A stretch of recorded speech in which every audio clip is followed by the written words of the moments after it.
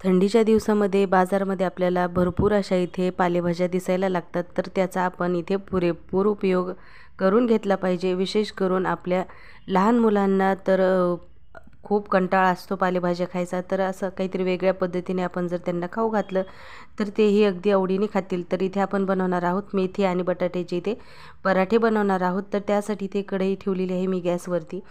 आणि एक चमचा तेल टाकून थोडीशी मोहरी टाकलेली आहे व इथे लसण जिरेची पेस्ट आहे. थोडीशी ओबडधोबडच इथे मी कट करून घेतलेली आहे. ती मी ते थोडीशी फ्राय करून घेतल्याच्यानंतर इथे बारीक चिरलेली इथे मेथी टाकून घेतलेली आहे. तर मेथी आपल्याला खूप त्याच्या काड्या घ्यायच्या नाहीत नाही तर आपले मुलं खाणार नाहीत. तर खूप त्याचे देठ न घेता अगदी पालकाचे जे पानं आहेत तेच घेऊन स्वच्छ धुवून आपल्याला बारीक चिरून घ्यायची आहे. व याच्यामध्ये मी घातलेले आहे इथे अर्धा चमचा हळद अर्धा चमचा इथे लाल तिखट घातलेला आहे. आणि मीठ टाकलेलं आहे जेणेकरून जे मेथीचं जे काही पाणी असतं ते रिलीज होईल. आणि मेथी एकदम अशी कोरडी झाल्याच्यानंतर मी याच्यामध्ये उकडलेला बटाटा देखील टाकून घेतलेला आहे. व अर्धा लिंबू पिळून घेतलेला आहे. म्हणजे आपले जे पराठे आहेत ते अगदीच टेस्टी असे होत होतील याच्यामुळे. तर आता इथे मी बटाटे जे आहे ते स्मॅश करून सारण थंड होण्यासाठी ठेवलेलं होतं. तर सारण थंड होईपर्यंत मी ते कणिक देखील तिंबून घेतलेली आहे. तर फक्त गव्हाचं पीठ घ्यायचं आहे आणि चिमूटभर मीठ टाकून आपल्याला आपण जसं रोजच्या पोळीला कणिक मळून घेतो तशीच इथे कणिक मी इथे मळून घेतलेली आहे.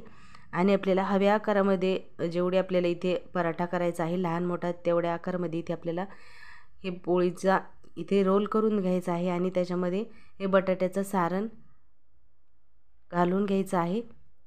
आणि असं बंद करून आपल्याला इथे हा पराठा लाटून घ्यायचा आहे.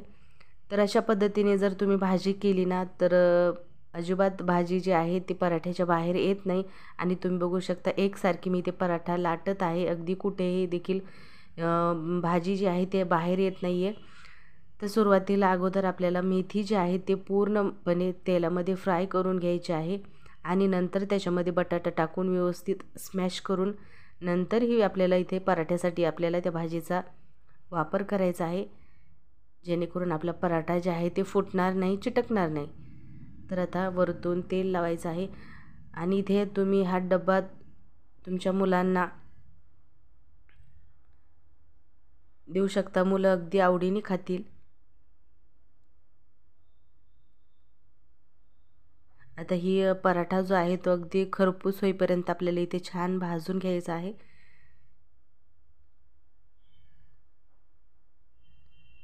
तर थंडीच्या दिवसामध्ये मुलांना जर असं काहीतरी नवीन नवीन आणि आता पराठ्यामध्ये आपण मेथीची भाजी घातलेली आहे आता मुलं याच्यामधली भाजी काढू शकणार नाहीत आणि जर आपण त्यांना अशी मुगाची डाळ टाकून किंवा चण्याची डाळ टाकून जर त्यांना भाजी दिली तर ती भाजी खात नाहीत मुलं. पण अशा पराठ्यामध्ये जर घालून त्यांना खाऊ घातली तर मुलं अगदी आवडीने खातील. तर आता अशाच पद्धतीने मी सर्व पराठे इथे बनवून घेणार आहे. तर खूप टेस्टी आणि त्याचबरोबर हेल्दी देखील हे पराठे आहेत. तर इथे आपले पराठे बनवून तयार झालेले आहेत. रेसिपी आवडली तर लाईक करा सबस्क्राईब करा चॅनलला आणि पुन्हा भेटूया असेच एका छानशा रेसिपीबरोबर तोपर्यंत बाय